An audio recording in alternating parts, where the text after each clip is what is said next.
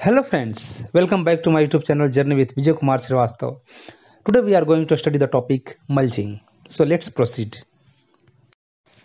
What is mulching? Mulching is related to mulch where the mulch is a layer of material applied to the surface of soil for covering of soil. And mulching is the process of covering the soil to create favorable conditions for plant growth, development, and to increase crop yield and soil conservation practices. In a general, mulching means covering the soil surface by straw, leaves, grasses, or inorganic matter. Mulches of different kinds check soil erosion, increase soil fertility, and also minimize moisture evaporation from the topsoils. So one side it is conserving the moisture, another side playing important role in soil conservation and creating favorable conditions for plant growth. The term mulch was introduced by Wegener in 1960 and it is derived from the German word molls which means soft to decay means easy decomposition. In other way, mulch has been referred to the gardener's use of straw and leaves as a soil cover as per Jacks et al. in 1995. It means mulch refers to the crop residue, straws, shredded leaves to cover the soil for purpose of soil conservation, soil moisture preservation and control soil erosion. Mulching is also known as sheet composting. Benefits of applying mulch film and mats. Mulching is playing important role which can be described as conservation of soil moisture because there will be control of evaporation because it is not directly exposed to the sunlight. So there will be moisture conservation. There will be improvement in soil fertility and health of the soil. There will be control of weed growth and it will minimize the crop and weed competition. There will be retaining of moisture for longer period, improvement in soil condition and it will prevent soil erosion also. Mulching repels insects. So in other way it is controlling the multiplication of insects. There will be increase in yield because we are maintaining the moisture for longer period and application of fertilizer in along with irrigation water and then there will be less loss to the fertilizer. Because of mulching, it has been reported there will be early crop harvesting and it will enhance the visual appeal of the area also. And mulching keeps the roots and bulbs of the crop cool in summer season and warm the winter, which is meeting the requirement of the crop. And mulching also prevent frost having in winter season. So these are the various benefits of mulching. Now types of mulching. Mulching are of two types. First one is organic mulching and second non-organic which is also known as plastic mulching or inorganic mulching or synthetic mulching. In case of organic mulching, there is use of organic materials such as byproducts or crop residue of the crops grown in the field. Organic mulches also helps to improve the soil structure, drainage and nutrient holding capacity and water holding capacity of the soil and after decomposition it is improving the nutritive value of the soil and physical soil conditions. In case of non-organic mulching generally we are using plastic mulch sheets. There are various types of organic mulching where grass clipping, bark, shredded and chipped materials are used, straws are used, sugarcane trash is used, there will be use of shredded leaves, pine needles, newspaper, etc. So these are the organic materials which are getting decomposed and we have to change the mulching after a certain period. And after decomposition it is adding the nutrients to the soil, improving the soil conditions and fertility. Here we will go through details about organic mulching. In organic mulching is consist of natural substances like bark, wood chips, pine needles, dry grasses, paddy straw, sugarcane trash, dry leaves, shredded leaves, sawdust, dust, and grass clipping, etc. Organic mulching is playing important role in improving soil conditions because they are getting slowly decomposed by which they will add organic matter to the soil which helps to keep the soil loose. Organic matter becomes source for the beneficial earthworms and other soil microorganisms in the soil and it creates a porosity in soil very good porous soil which is beneficial for the crop growth and root growth. Organic mulch improves root growth, increase in the infiltration of water and also improves the water holding capacity, water retention capacity of the soil for longer period. Decaying organic matter also serves as a source of plant nutrients and it will also maintain the soil temperature. Organic mulch where the organic mulch also in, attracts insects, slugs, and the cutworms that eat them. So we have to take the precautionary measures time to time, and it should be replaced. Organic matters get decomposed easily, and so there will be need for frequent replacement of the mulch material. Now inorganic or synthetic mulch Synthetic mulch are synthesized materials and it needs prior work before used in the field.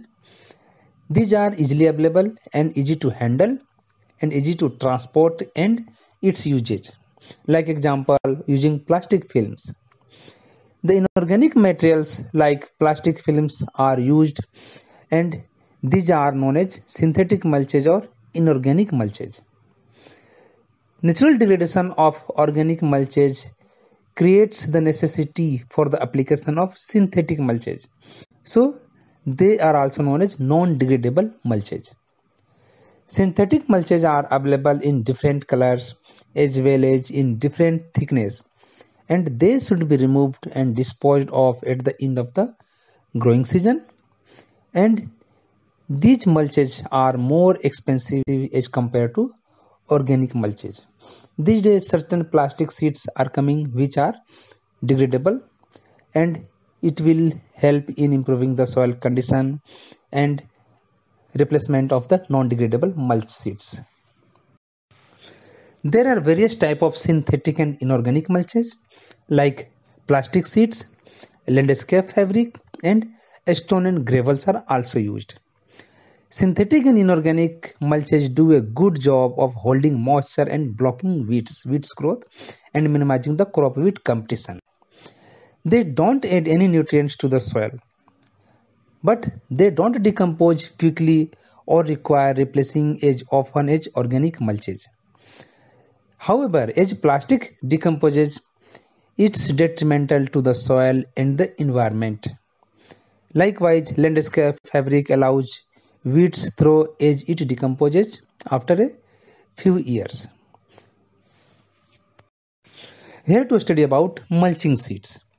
Mulch films or mulching sheets are made of a material that is thick enough to stop water loss from the soil while getting proper aeration and needed sunlight into the soil.